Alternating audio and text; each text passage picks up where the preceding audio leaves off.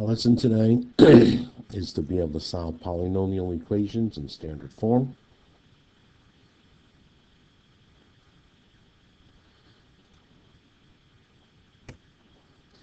In order to solve polynomial equations, we have to use the zero product property.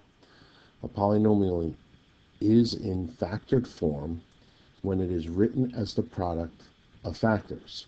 So we have standard form here where we have the order of the decreasing powers of the variable, and then we have factor form. Right? So x squared plus 2x would be standard form. x times the quantity x plus 2 would be factored form. If you look at the trinomial, x squared plus 5x minus 24, standard form. The factored form would be uh, x minus 3 times uh, the quantity x plus 8. when one side of an equation is a polynomial in factored form, the other side is 0. Use the zero product property to solve the polynomial equation. the solutions of the equation are also called its roots.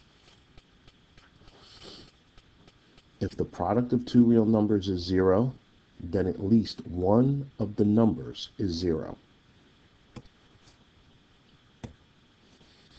So let's take a look at some examples.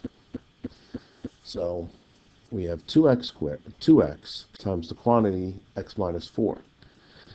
So that means either 2 times x is equal to 0, or x minus 4. Oops, we don't need the parentheses. Or x minus 4 is going to be equal to 0. So we solve each of these two equations. So the first equation we divide by 2. Get an answer of x is equal to 0 because 0 divided by 2 is 0. Over here we'd add 4 to both sides of the equation. And we wind up with uh, x is equal to 4. So, uh, so x is equal to 0 or x is equal to 4. So the roots of this equation are x is equal to 0 and x is equal to 4. Our next example, we have x minus 3 times uh, x minus 9. Once again, we write two equations. The first equation says that x minus 3 is equal to 0, or the second equation uh, says that x minus 9 is equal to 0. We solve both equations, so I'm going to add 3, add 3. We wind up with x is equal to 3. Over here I'm going to add 9, going to add 9. We get x is going to be equal to 9. So the roots of this equation the roots are x is equal to 3 and x is equal to 9. Alright, and this next one, we'd write uh, 2x plus 7 is going to be equal to 0, or 2x minus 7 is going to be equal to 0. We solve each equation, subtracting 7 from both sides. 2x is going to be equal to negative 7. We divide by 2 on both sides. We get x is equal to negative 7 over 2. And over here, we'd add 7 to both sides of that equation. 2x is equal to 7, and then we divide by 2 on both sides of that equation. And x is equal to positive 7 over 2. So the roots of this equation are x is equal to negative 7 over 2 and x is equal to 7 over 2. All right? So I'm not going to do all of these problems, right? But you could practice, you know, doing each one of these on your own, right? But they'd all be done essentially the same way. All right? So let's take a look at repeated roots. When two or more roots of an equation are the same number, the equation has repeated roots. So if we look at this first example, x minus 1 squared is equal to 0. First we write it in factored form, so x minus 1 times x minus 1 is equal to 0, right? Because when we have this power here, the base is x minus 1, so that's your repeated factor, and each of them has to be equal to 0. So we'd write x minus 1 is equal to 0, or x minus 1 is equal to 0, add 1, add 1, x is equal to 1. Same thing over here. x is equal to 1. So we'd write this equation has repeated roots of x is equal to 1. This equation has repeated roots oh, of x is equal to 1. Hmm? And if you look at this next one here, example B, we have x plus 1 times x minus 3 times x plus 1 is equal to 0. So we want to take each of these factors using that 0 property and make each of the factors equal to 0. So we'd have x plus 1 is equal to 0.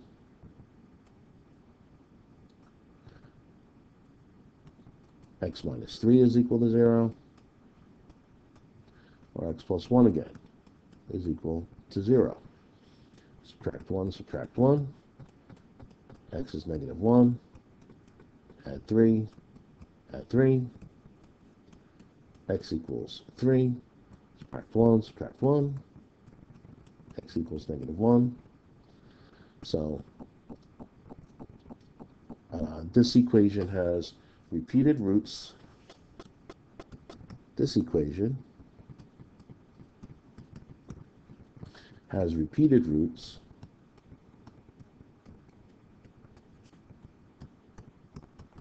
at x equals equal to negative 1 at x is equal to negative 1 and has a root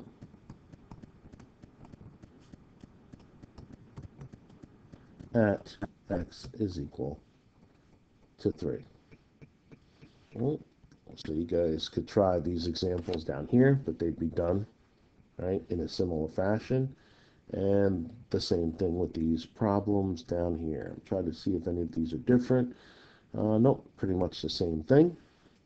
So we go on to uh, the next part of our lesson.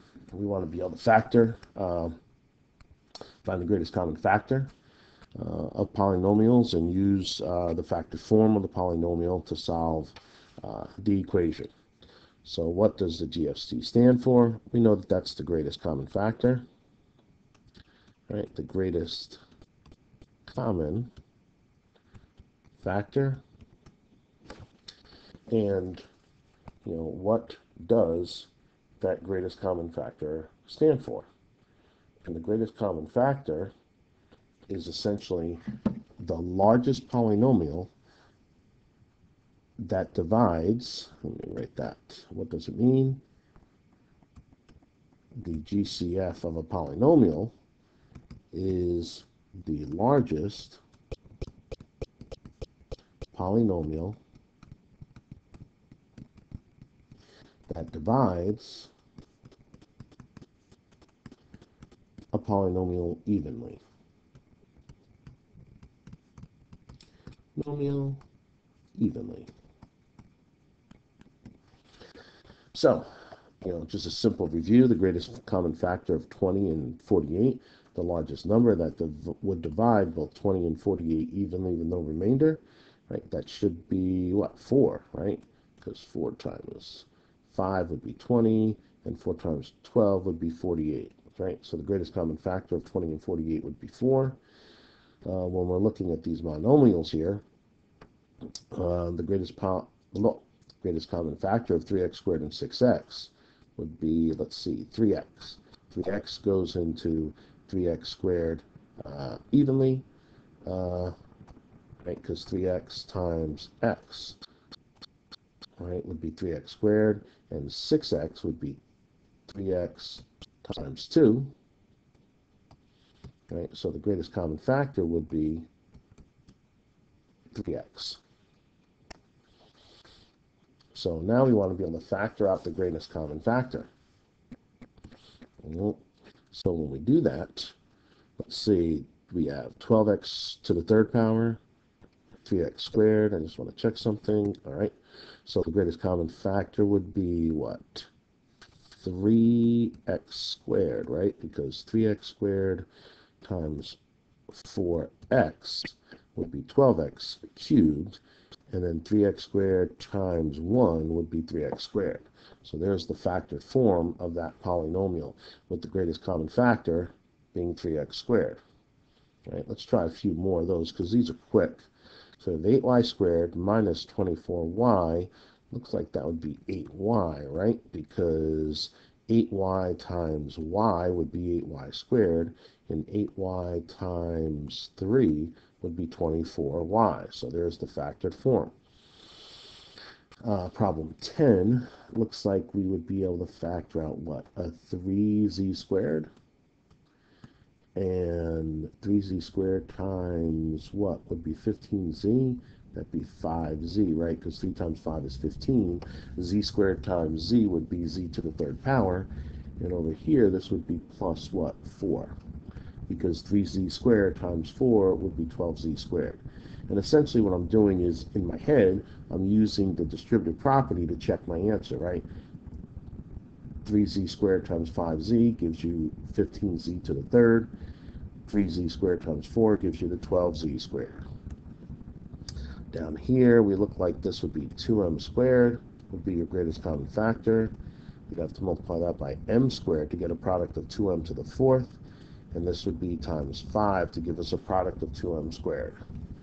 Then our last one down here, uh, looks like you could just factor out an n, right? And then this would be 13n to the fourth minus 4 right? Now here we have a three-term polynomial, but even with that, right, you can factor out a greatest common factor. Looks like that would be what? What would divide evenly into 3, 9, and 12? That would be 3. And then what would divide evenly into x to the fourth, x squared, and x? Oops. Did that too quickly. Right, so that would be x. So 3x times what gives you 3x to the fourth? Well, that would be x to the third. 3x times what would give you 9x squared? That would be what? 3x. 3x times what gives you 12x? That would be 4. So there's your factored form. Now we want to be able to use these factored forms to solve equations. So we'll do a couple of these. Letter A, or problem A, greatest common factor of 2x squared and 8x, that looks like that would be 2x right? Times x would be 2x squared, right? 2x times 4 would be 8x. We make that equal to 0. So now each of the factors has to be equal to 0, so we'd write 2x is equal to 0, or x plus 4 is going to be equal to 0. Solve each equation. Get x is equal to 0 here. Solve this. We get x is equal to negative 4. So the roots of this equation would be, the roots are 0 and uh, negative 4. Pretty bad and, but you can read it. This next one we have to do a step before we can factor. We'd have to subtract 15n from both sides of the equation first so that we have 0 on one side of the equation. Right, so now we have 0. But then we'd have 6n squared minus 15n is equal to 0. So we have to do that first step so that we write this uh, in, in standard form. Then we can find the greatest common factor, which looks like that would be 3n, I believe. 3n times 2n would be 6n squared, and 3n times what? 5 would be 15n right? And that's going to be equal to 0. And then we know that each of these factors is going to be equal to 0, so we write 3n is going to be equal to 0. You know, or we have 2n minus 5 is going to be equal to 0. This equation we divide by 3. n equals 0. This equation add 5, add 5. 2n equals 5. And then when we divide by 2 on both sides, click, click. Right, we get n is equal to 5 over 2. So the roots of this equation are, the roots are uh, n is equal to 0 and n is equal to 5 over 2. All right, we'll try a couple more of these just so you guys get the hang of it. All right, I'm going to come down here and do these. All right, so first let's, uh, what do we have to do here? Factor out in A, it looks like. So A parentheses, that'd be what? A plus 5, right? That'd be equal to 0 and then a equals 0. Well, that's nice. and then we have a plus 5 equals 0. Too fast there, Pallotta. a plus 5 equals 0. Subtract 5, subtract 5. a equals negative 5. So the roots would be, the roots are uh, a equals 0 and a equals negative 5. All right, I'll do these other two. Uh, let's see, what do we factor out here? It looks like we could factor out a 3s, parentheses s minus 3, equal to 0. So then we write 3s is equal to 0, s minus 3 is equal to 0, divide by 3, divide by 3, s equals 0, add 3, add 3, s equals 3, so the roots here are uh, x is, oops, not x, s. The roots would be s is equal to 0 and s is equal to 3. And the last one, we have to do that extra step here where we subtract 2x from both sides of that equation. Right, and then that gives you 0. So then we have 4x squared minus 2x is equal to 0. Then we find the greatest common factor, which would be, uh, looks like 2x. Parentheses, would that be? Nope. Right, that'd be 2x times 2x would be 4x squared minus, that would have to be 1 equals 0, right? Because 2x times 2x gives us 4x squared. 2x times 1 gives us 2x. That works. So then we have 2x is equal to 0, or 2x minus 1 equals 0. Divide by 2, divide by 2. x equals 0. Add 1. Add 1. We got 2x equals 1. Divide by 2, divide by 2. x equals 1 half. So the roots here, the roots are x equals 0 and x equals 1 over 2. All right, so that's our lesson today. Hope that's been helpful, and uh, we'll see you soon.